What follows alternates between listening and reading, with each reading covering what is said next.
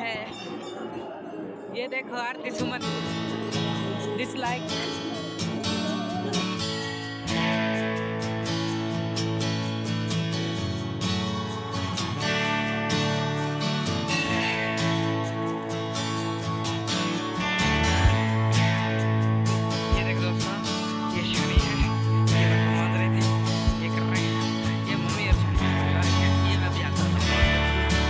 thank you for watching blog I hope आप लोगों को ब्लॉग अच्छा लगा होगा।